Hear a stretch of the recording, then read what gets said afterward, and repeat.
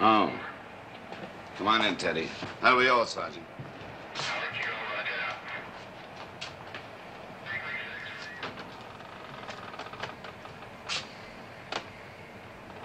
Did you have to put it in writing? I knew you wouldn't let me go unless I did.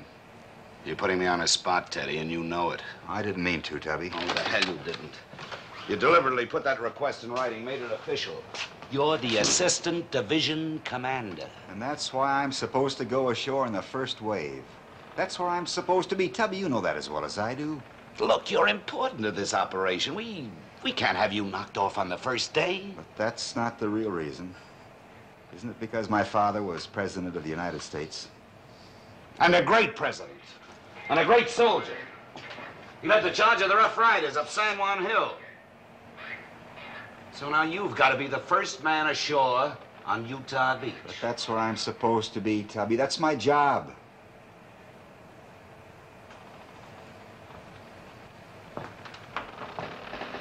Also, I might add that I've been right there, side by side with the men all through training.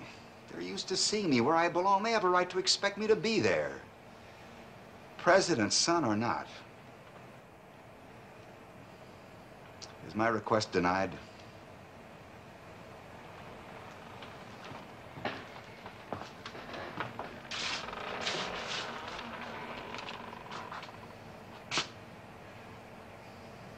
No, you know it's not.